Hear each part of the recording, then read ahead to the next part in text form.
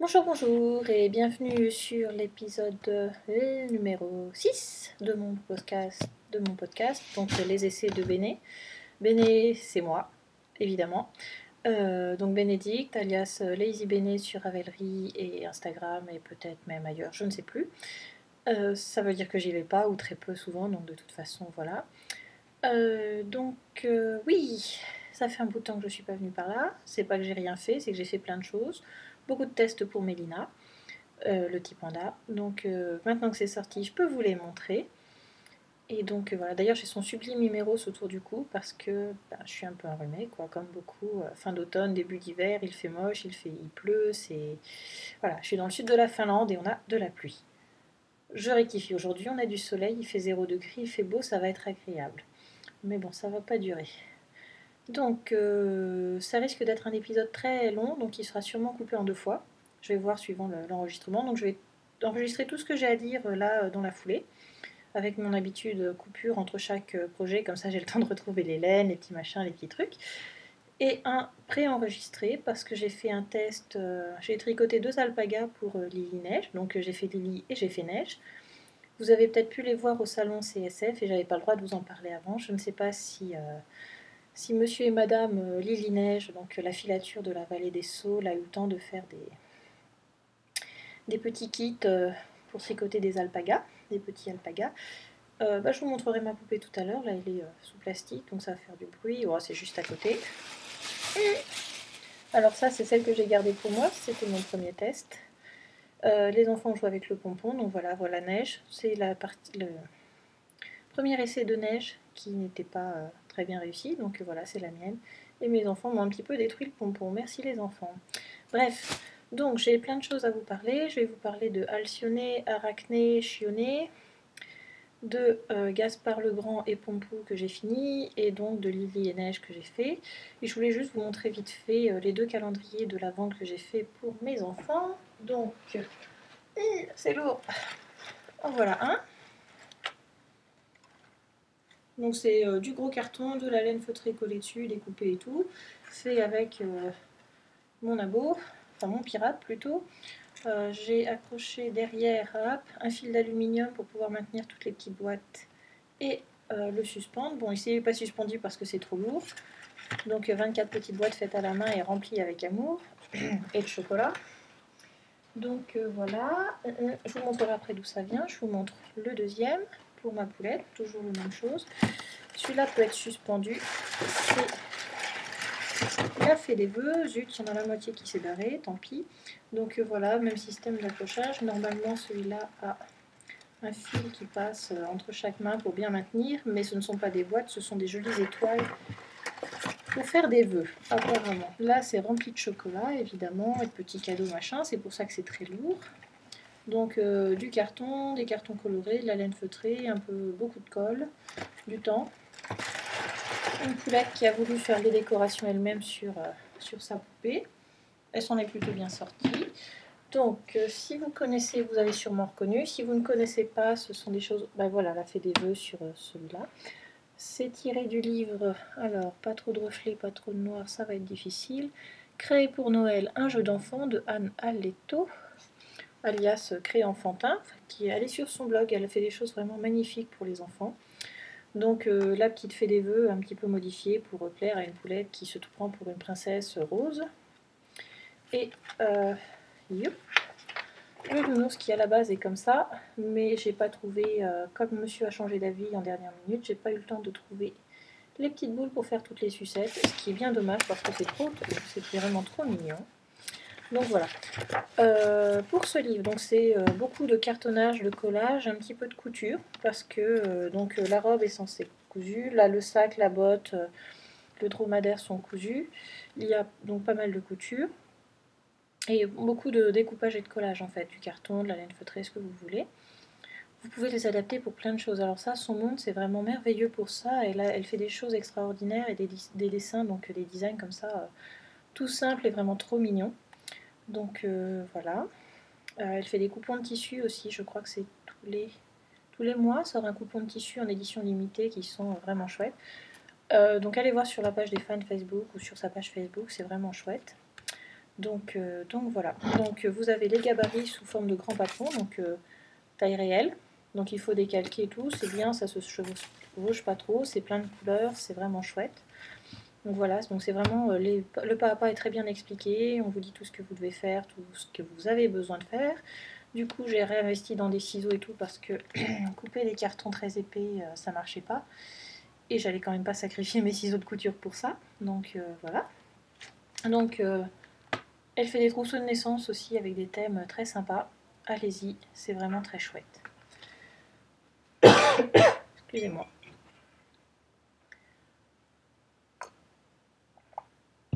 Et oui, au thé chaud parce que rhume. ici, pour soigner un rhume, c'est vous devez boire de l'eau chaude et vous reposer. Donc euh, voilà. Euh, je vais enchaîner avec Lily Neige le message que j'avais préenregistré il y a quelques temps déjà, bah, il y a plus d'un mois avec le salon CSF. Je vais mourir et je reviens ensuite pour la suite. Alors, petit enregistrement rapide pour vous présenter euh, les alpagas. J'ai changé de lieu, je suis dans mon salon, j'ai deux bébés chats qui squattent mon bureau, donc voilà.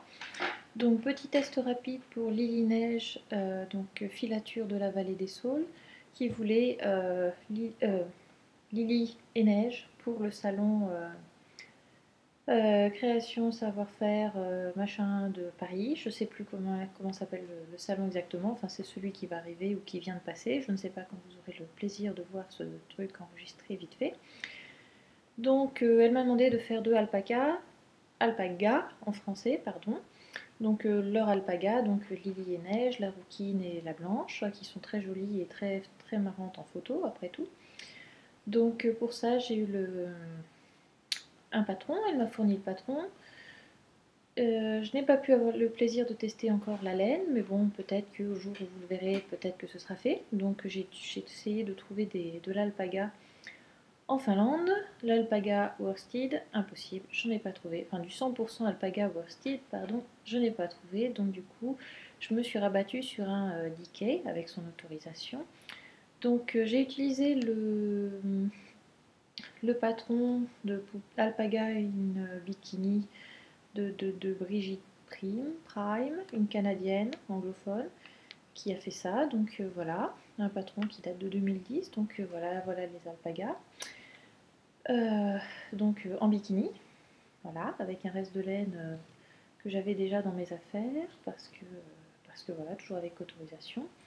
Donc la laine, c'est du 100% alpaga DK, c'est une marque qui s'appelle par contre Lamana, qui doit être allemande, je crois, je ne sais plus. Enfin bon, le, la laine est faite au Pérou, donc c'est du DK, c'est du 100% alpaga. Euh, ça se tricote en 4-5, c'est vraiment très doux comme laine, c'est un plaisir. Où est-ce que sont mes restes de pelote Voilà.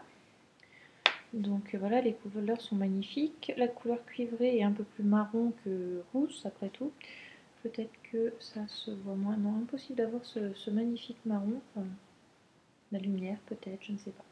Bref, c'est très doux, même quand on a la peau qui pique, euh, qui se fait piquer rapidement. Euh, c'est doux, c'est doux, c'est doux, les couleurs sont magnifiques. Un plaisir à tricoter. Donc euh, moi, mes poupées ont été tricotées en 3,5 avec une laine d'Ika pour avoir à peu près un, équivalent de worsted tricoté en 4 mm. Donc voilà, donc euh, les petits cheveux de Lily, les petites oreilles. Donc c'est une poupée qui se fait au tricot, pas au crochet. Voilà. Donc le patron est ce qu'il est? Ce qui est justement dommage, c'est que euh, peut-être parce que c'est ma laine qui fait ça aussi, et peut-être que j'aurais dû tricoter encore avec une, euh, une taille d'aiguille en dessous, genre en 3. Mais du coup, on voit tous les petits euh, trous-trous du tricot, donc, donc la bourre à l'intérieur, ce qui est un peu dommage, mais bon. Le résultat est correct, ça fait marrer tout le monde, surtout les gamins, donc, donc voilà. Euh, donc euh, pas de difficulté particulière dans ce patron, au contraire c'est vraiment très simple à suivre, même en anglais. Je crois qu'il y a une euh, traduction française qui arrivera bientôt si ce n'est fait pour le salon. Donc, donc voilà, très facile à faire. Le problème c'est que c'est du tricot à plat, donc c'est plein de coutures. Donc couture là, couture là, couture là. Sur chaque morceau il y a des coutures et notamment derrière la tête où il est difficile de faire une couture vraiment très discrète. Donc voilà, donc euh, voilà Lily, voilà Neige, avec son pompon sur la tête pour euh, deux versions de, patron. Peut-être que le pompon devrait être un peu plus écrasé en fait pour être un peu plus fidèle à la vraie, euh, vraie neige. Donc voilà, le petit bikini qui est, qui est à faire, qui est aussi qui est fait avec du fingering normalement. Donc voilà. Donc j'ai essayé de trouver une taille un tout petit peu en dessous pour pouvoir aller un petit peu mieux à mes poupées. Donc voilà, il y a une robe normalement avec le patron que je n'ai pas eu besoin de tester. les bikinis, c'est pareil, se font à plat et ensuite il faut coudre les côtés de la culotte pour, pour assembler. Donc euh, vivement la laine multicolore pour voir bien les coutures. Donc euh, voilà, donc le bikini c'est pareil, c'est à plat, on fait un côté et on fait l'autre, et puis ensuite avec les restes de fil on attache. Euh, dans le patron, elle propose la, donc Brigitte Prime propose plusieurs finitions pour les patrons ou de faire un peu comme on a envie. Je vous conseille vivement les finitions crochet, sinon ça fait vraiment pas fini. C'est déjà avec juste une simple finition au crochet parce que les poupées partent demain par la poste pour... Euh, donc moi, au jour où je vous parle, partiront demain pour être arrivé au salon créatif euh, à temps, normalement. Donc euh, voilà, donc ça permet au moins de se tenir, mais c'est vrai que c'est pas très très joli. Donc voilà, donc si vous voulez, Brigitte Prime a plein de patrons aussi sur internet, sur Ravelry, vous pouvez la trouver. Elle fait beaucoup de petites peluches, notamment au tricot. Donc c'est du tricot. Personnellement, je suis... c'est du tricot, donc euh, moi je suis plus habituée aux petites poupées au crochet très serré, donc du coup, euh, du coup je suis un peu déçue par les, finitions, les coutures, euh, le fait que bah, ça se tient pas quoi. Les poupées, enfin bon, je suis habituée au Lalilala, donc grand luxe paraît-il, où c'est vraiment très bien fait et tout, toutes les explications. Mais là, bah, ça tient pas. Bon, l'avantage qui est bien, c'est que la poupée s'assoit facilement et tient assise toute seule. Ça, c'est super. Par contre, la tâche pour les différents membres, je trouve que c'est pas fini et qu'il manque, euh, ça manque de travail en fait, tout simplement. Mais bon, elles sont mignonnes, elles plaisent apparemment beaucoup, donc euh, tant mieux. Là, c'est encore plus flagrant pour la tête. Alors c'est peut-être moi qui m'y suis mal pris pour attacher, mais voilà, c'est, on voit la couture, la, façon dont il faut attacher, ça se tient pas. Enfin, c'est, ça fait vraiment poupée euh, articulée mais désarticulée qui, qui est mal attachée dans tous les sens ou quoi. Donc donc voilà, sinon c'était vraiment très très rapide à faire. Il faut euh, aller une pelote de une pelote de 50 grammes pour faire euh, la bébête avec ses cheveux. Le seul truc c'est qu'il faut une deuxième pelote euh, pour pouvoir faire les ongles, parce que ce ne sont pas des sabots, ce sont des ongles. Voilà. J'en ai appris un petit peu plus sur les alpaga et lama, voilà. Différence entre lama et alpaga, si vous ne savez pas, c'est la même différence entre un, cheval et un poney. Donc voilà, merci. Merci Lily Neige de m'avoir appris ça. Donc, euh, voilà. Euh, oui, donc euh, patron facile à faire, à comprendre. Ses seules difficultés, c'est les diminutions, augmentations et les coutures qui, que vous pouvez essayer de faire. moi, j'ai fait les coutures invisibles parce que c'est celle que je connais, je sais faire en fait. Et je sais pas. Enfin, à part pour la tête, parce que la tête, c'est vraiment pas très joli. Mais bon, donc voilà, quoi. Il n'y a rien de, particulièrement difficile. Après, ce qui est un peu peut-être euh, plus difficile, c'est de rembourer de façon correcte, notamment la tête, parce qu'apparemment, ils ont vraiment un nez et des joues bien remplis. Donc celui-là est peut-être un peu gros et lui un peu fin, je ne sais pas. Enfin, c'est vraiment étrange. Nu sans les cheveux, ça fait penser à une grosse souris, donc c'est vraiment mignon. Donc euh, voilà, pas de, pas de difficulté particulière à part les coutures et l'assemblage, mais sinon euh, très rapide, très très rapide à faire puisque euh, j'allais dire c'est du tricot à plat donc ça va très vite, encore plus vite. Donc moi j'ai mis les deux jours entiers parce que j'ai pris mon temps pour faire une peluche et puis voilà donc donc, donc voilà. Donc les voilà, des yeux sécurité pour que ça ne parte pas à travers les enfants, pour les enfants ou quoi. Donc si vous ne connaissez pas les yeux sécurité, où est-ce qu'on les verrait mieux? Peut-être ici. Donc vous avez un petit clou, façon lisse à, mettre dans le, tricot, et une rondelle qui se clive derrière. C'est pas toujours évident à enfoncer, mais par contre, une fois que c'est mis, vous pouvez retirer. Et ça a été. Euh, que la sécurité a été prouvée et approuvée par mon fiston destructeur de monde. Donc je vous assure que pour les amis Gurumi ou les peluches, je pense que ça tient bien. en tout cas, moi j'ai pas eu de soucis, même avec mes bébés, donc. Euh, donc si vous vous posez la question, allez-y. Moi pour le crochet, j'ai entièrement confiance en ça. Le tricot, je dirais aussi, puisque la rondelle fait 1 à 2 mm de plus que le tour de l'œil. Donc c'est quand même très large. Si vous faites des mailles plus grosses, de toute façon, vous avez besoin d'un œil normalement plus gros. Donc la rondelle sera elle aussi plus grosse, donc normalement ça ne devrait pas partir facilement. Et une fois que la rondelle est mise sur l'œil, bon courage pour l'enlever. Moi personnellement, juste avec les mains ou les pinces pour clipser ou déclipser des, ah, ah, des, des, boutons pression, je n'ai jamais réussi. Donc, ou après, il faut y aller avec une grosse pince et euh, coupante et tout. Donc, euh, donc voilà, vous pouvez, je pense, avoir confiance, surtout si vous avez des petits destructeurs de monde. Euh, de 90, 1 mètre, 1 mètre 90 cm, 1 mètre de haut. Ça marche bien. Allez-y, c'est maman proof. Et baby proof aussi.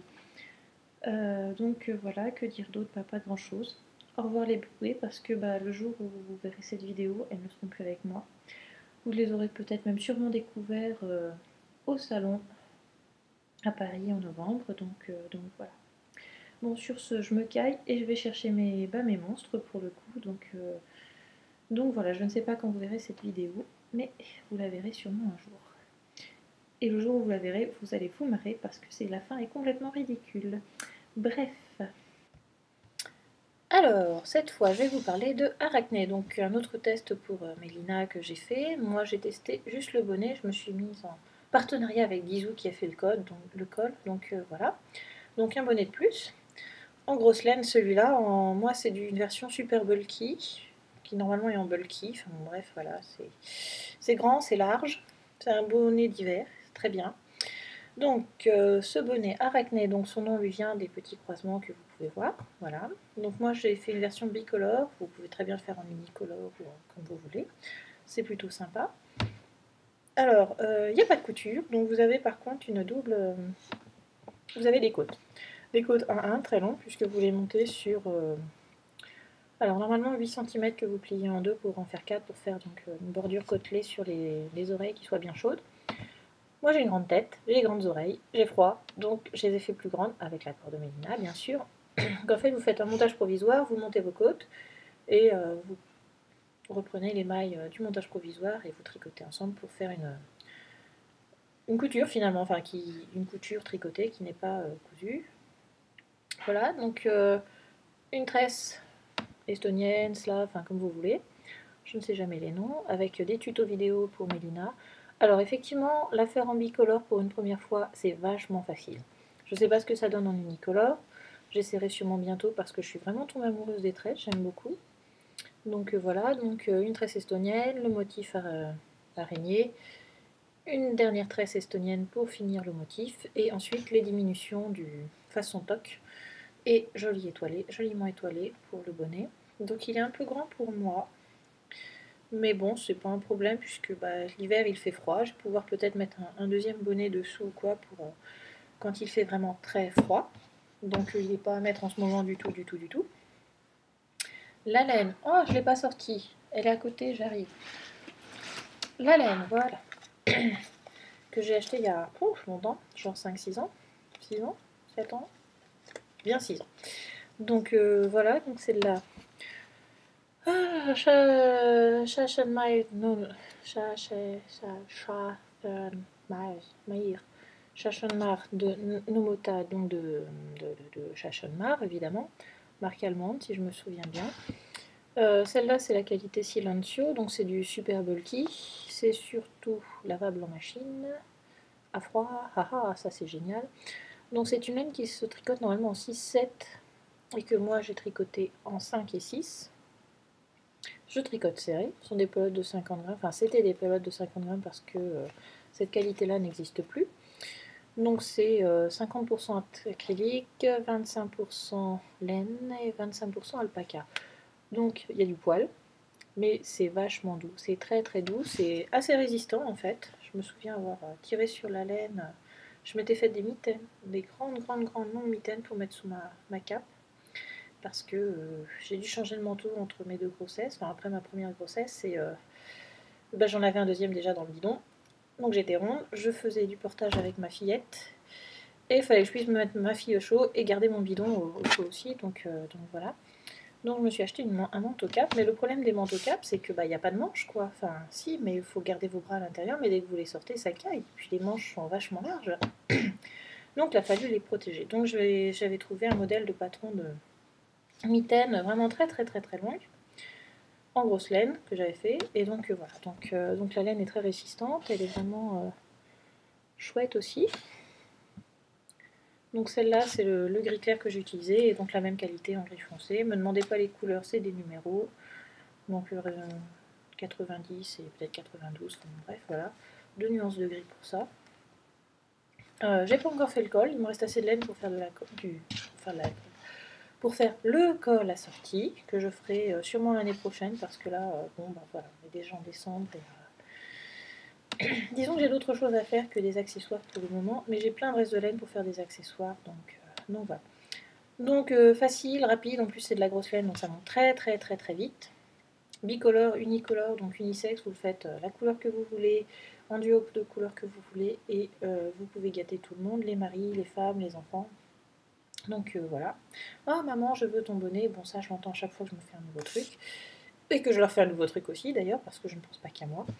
Donc, euh, donc voilà, rapide, facile, accessible aux débutants, c'est marrant à faire, on s'éclate.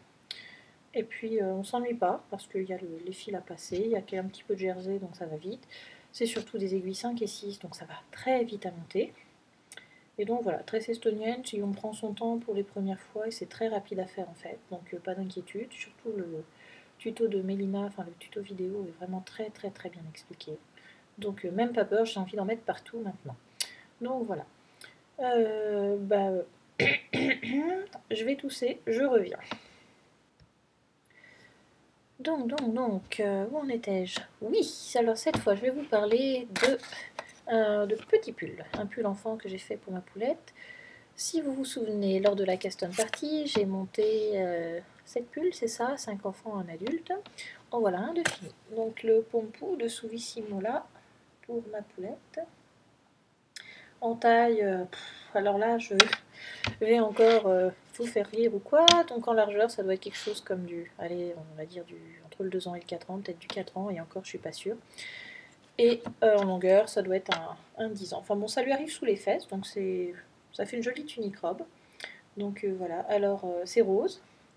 Donc petite finition que j'ai trouvée, j'ai craqué dans un magasin de handicraft. Donc voilà. Les petits chats Hello Kitty, rose. Alors c'est peut-être, ce sont peut-être pas forcément les plus jolis pour mettre dessus, mais quand elle les a vus, c'était oh maman c'est rose, c'est rose, il faut absolument, il me faut absolument ces boutons. Donc, donc voilà, bon ça fait un peu ton rose sur rose. Donc, euh, particularité de ce pull.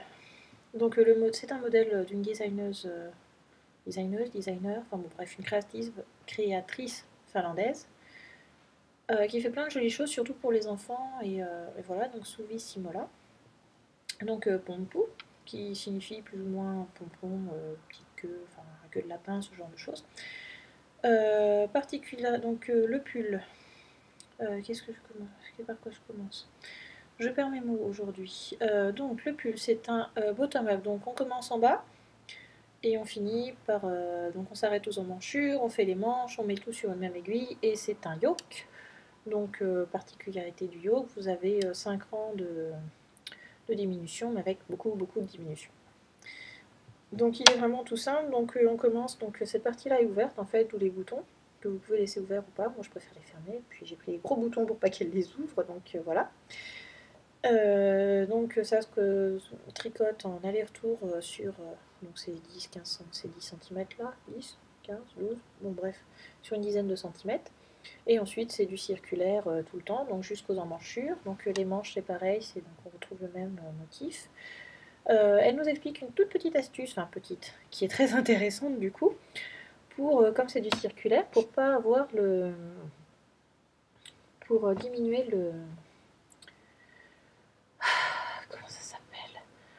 Le, le pas beau du changement de, maille et de rang en fait entre le mousse et le... Enfin le mousse, entre le rang en vert dans les rangs droits. Donc en fait c'est tout simple, elle fait tout simplement... Euh, vous commencez votre votre rang en point en vert et puis vous, quand vous passez au point en droit ou le contraire, je sais plus, vous, vous avez une maille glissée quelque part. Donc euh, voilà, donc c'est vrai que ça fait du coup un décalage entre les rangs un peu plus discret, donc ça peut être pas mal aussi peut-être pour les changements de couleur. Mais c'est pas vrai. Qu'est-ce qu'il y a sur la manche? Ça vient de passer en machine. Donc oui, il est passé en machine. Il sera jouissant. Il a résisté. Je parlerai de la laine bientôt. Donc euh, particularité de ce pull, c'est un yoke. Donc euh, définition, enfin, je vais me faire attaquer par des furies nocturnes. Donc j'ai deux chats à la maison depuis un peu plus d'un mois maintenant, enfin des chatons du coup. Et elles sont tarées, elles jouent ensemble et elles sautent partout. Bref. Tant qu'elle ne m'attaque pas, c'est bon. Donc euh, finition, c'est en fait un simple georgette d'endroit qui est roulé. Donc euh, ça fait vraiment un joli effet sur le euh, col, les manches et le bas du pull. Donc j'avais jamais vraiment fait ça, je crois. Donc en tricotant, mon gerbet était plutôt droit. Puis en fait, après le premier lavage, ben, il s'est mis à bien rouler. Donc parfait. Petite particularité de ce pull, non, c'est pas... Excusez-moi, particularité du pull, c'est pas ça. Une finition sur le pull, les poches. Alors moi j'ai rajouté en forme de feuille. Donc euh, moi j'ai rajouté deux boutons parce qu'en fait euh, ça doit être, je sais pas d'où ça vient, si c'est la laine ou quoi, mais bon bah la poche elle tombe, elle tient pas quoi. Donc est-ce que j'ai pas assez cousu, est-ce que j'ai, enfin je pense que j'ai pas assez cousu du coup, mais bon euh, c'est pas grave, ça tient comme ça. La minette aime bien avec avec les petits boutons pour fermer les poches, donc donc voilà. Donc il était à peine fini qu'elle l'a porté toute la semaine parce que bah, de toute façon ils le mettent le temps d'aller dehors et de ressortir. Donc en gros s'il a été porté deux heures par jour c'était beaucoup. Donc, euh, donc voilà, de jolis pulls, donc euh, très joli pour les petites filles vraiment. Donc c'est un modèle qui fait pour les, les enfants de 2 à 10 ans je crois, quelque chose comme ça. Donc euh, c'est la laine que j'ai utilisée. J'en avais deux grosses boules. J'en ai utilisé un peu plus d'une.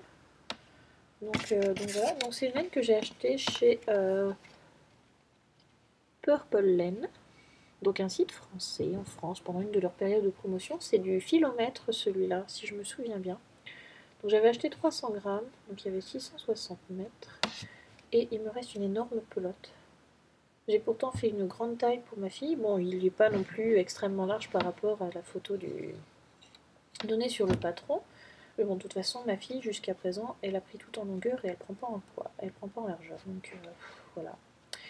Donc voilà, et voilà. Et elle grandit, elle grandit, elle grandit, elle s'arrête pas. Euh, donc la laine, donc je l'ai acheté chez Purple Laine sur un site français, ils font de très jolis fils d'ailleurs.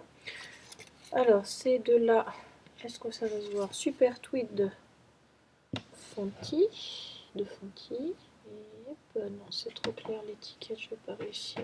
Bref, du super tweed de Fanti, c'est 85% mérino, 5% mohair. C'est un peu poilu. Il y a quelques longs poils, est-ce qu'on les voit? Oui. Et c'est du tweed, donc euh, je crois que je vous l'avais déjà montré, mais dans le rose, il y a des petites taches de couleur. Voilà, on voit du violet, il y a un peu de jaune, orange, rouge, le rose. Donc bref, ça fait vraiment très joli. Peut-être qu'on l'a vu ici, je sais Bref, c'est du tweed, hein, donc euh, tweed petite touche de couleur, et ça se tricote en 5 mm, donc ça va très très vite à faire. Et ça passe en machine, 30 degrés en machine. Évitez peut-être les essorages à 1800, 1800 tours ou 3000 tours ou quoi, hein, vous mettez un essorage doux quand même, hein, c'est de la laine après tout. Donc, euh, donc voilà, donc je ferai sûrement un petit bonnet ou quelque chose pour aller avec. Est-ce que sur le pull on voit la tweed Alors en fait c'est simple, plus on s'approche de la lumière, moins on voit le tweed. Voilà l'effet tweedé. Donc plein de petites touches de bleu, violet, plus ou moins clair, un peu de marron, du jaune, du rouge. Bref, c'est très joli. Et ben donc euh, voilà, donc euh, bah, j'ai une petite fille qui est heureuse, enfin une grande fille parce qu'elle a quand même déjà 4 ans. Ah, 4 ans, 4 ans. Et elle est grande. En effet, ils ont fait les photos de classe il n'y a pas longtemps. Oh là là, qu'est-ce qu'elle est grande, qu'est-ce qu'elle est belle, on dirait une princesse. Bon d'accord, c'est ma fille et c'est une princesse en ce moment. Depuis cet été, elle est dans l'air princesse. Donc euh, maman, je suis une princesse comme Elsa, mais en rose. Donc voilà, si vous avez des petites filles, vous comprenez si ça va vous faire marrer peut-être ou pas. Mais voilà, vous connaissez mon, cauchemar, princesse à la maison. Euh, donc, euh, super tweet de Fonty, honnêtement, je vous recommande parce que c'est vraiment sympa à tricoter, c'est de la grosse laine. Et en même temps, ça fait. Alors, ça n'a pas trop gonflé au lavage, curieusement. Heureusement, parce que j'ai pas fait vraiment d'échantillon pour celui-là. Donc, euh, donc voilà, vous voyez, la maille est quand même très euh, plutôt bien faite et tout, et euh, ça gonfle pas trop. Je sais pas si on va voir la maille, le fil sur la, taille du fil sur la maille. Enfin, c'est vraiment. Et, et, et... Oui, évidemment, rose sur rose. Donc voilà, c'est pas, Ça n'a pas beaucoup gonflé, ça n'a pas bougé, donc c'est vraiment, moi qui tricote serré, c'est plutôt sympa du coup. Et donc bah, j'ai une énorme pelote de laine encore qui me reste pour faire autre chose avec. Si vous avez des idées, allez-y, il faudrait peut-être que je pèse, ou peut-être que je sais peser d'ailleurs ici dans mon projet Ravelry. Euh, soit un bonnet, soit un, je un petit châle ou quelque chose. Elle adore les châles, elle aussi.